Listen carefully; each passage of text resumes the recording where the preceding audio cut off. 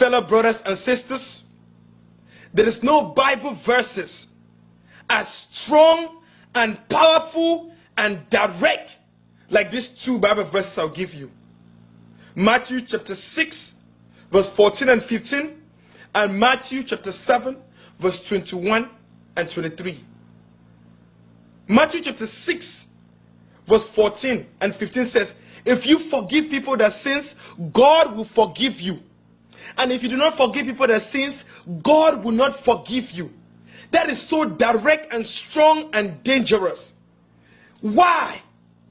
Because the reason why Christ came was to die for the forgiveness of sins. So if Jesus can forgive you, why is it so hard for you not to forgive others? That means that when you don't forgive others, your sins remain.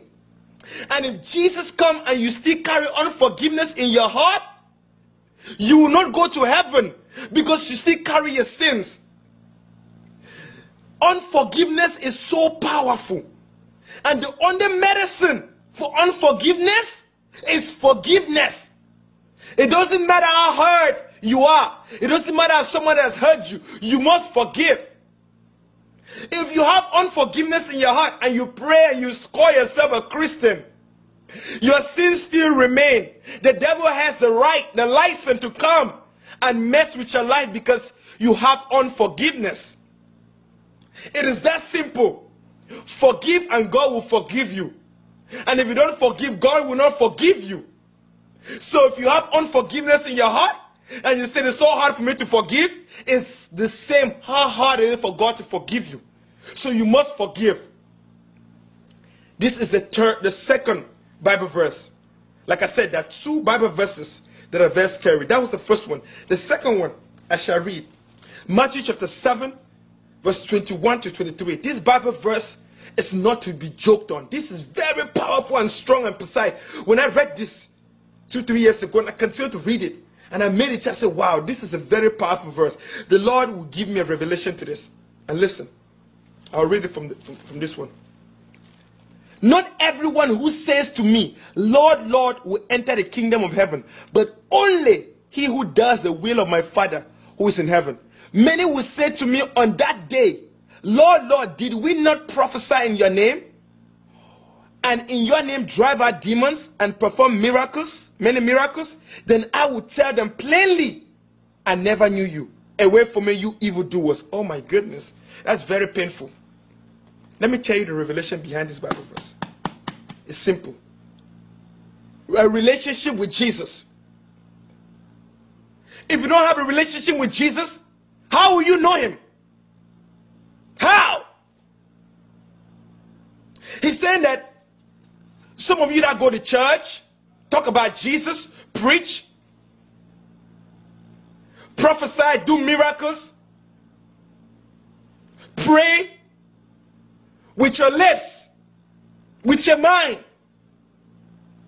Talk about God all the time.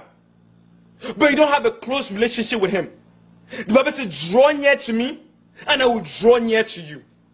You're supposed to have an intimate relationship with Jesus Christ. The will of the Father is for you to know Jesus, your Savior.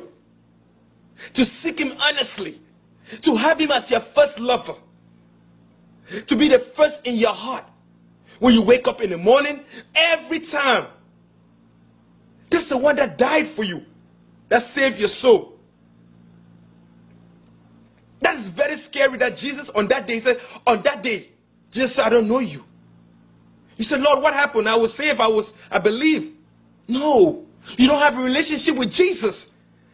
You are praying and asking for gifts.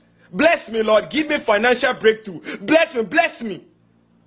And when God blesses you, you run away. You have no relationship with Christ. You are empty. You must have a relationship with Jesus Christ. And a relationship with Jesus Christ started with His Word. Most Christians don't read the Word of God. They don't meditate on it. They don't have a passion and a hunger for the Word of God. They don't read it. They don't pray. I mean, how can you possibly say you know Jesus Christ and you don't know about His Word?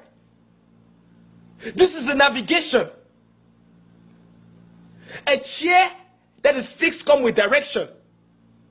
This is your direction. This is what this is what tells you about who you are in Christ, in God, is the Word of God. You speak so many words a day to people, to friends, a job, but you cannot use your words and speak to God just to thank Him, to worship Him, to praise Him, to say, Lord, I need you more than ever before. Please give me a hunger, a passion to know you more. I am hungry. I don't want to be empty. I don't want to be filled with religion and tradition. I want to be filled with the love of God. I want to pray for my family and nation, for the lost. I want to be used. Lord, I have all these goods. I have all these clothes. I have all this money. I want to give it for your work. I want to support the ministry. I want to use it for your gospel. Lord, I want to know you more. I mean, you just seek God and you just cry to Him. And you say, Lord, you died for my sins, and I don't know you. I want to know you more, Lord Jesus. Please give me the hunger to seek you, to praise you, to thank you, to know who you are by your word. Because the righteousness of God is the word of God. You, you have the word of God in your heart.